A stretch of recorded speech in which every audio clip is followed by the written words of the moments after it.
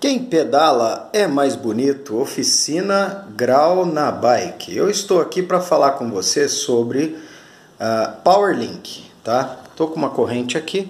Ela acabou de passar pela cuba de ultrassom. Depois a gente fez a lavagem, a limpeza dela, tá? São três etapas para que ela fique totalmente limpa.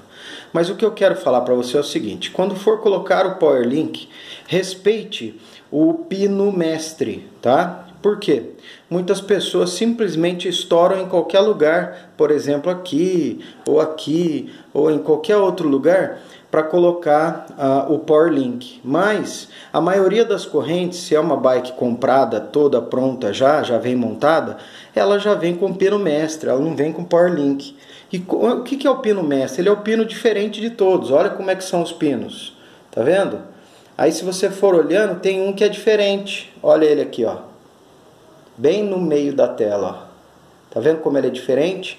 Aí algumas pessoas simplesmente estouram em qualquer lugar, como aconteceu com essa corrente aqui. Né? Foi estourado aqui, ó. É, tirou o pino para colocar o power link aqui, sendo que o pino mestre está lá, ó. Aí, além de ficar feio, ainda uh, corre o risco do pino mestre ficar folgado, porque acontece, e estourar a corrente nesse ponto aqui, que é o, o ponto mais fraco onde há um pino que não veio de fábrica, tá bom?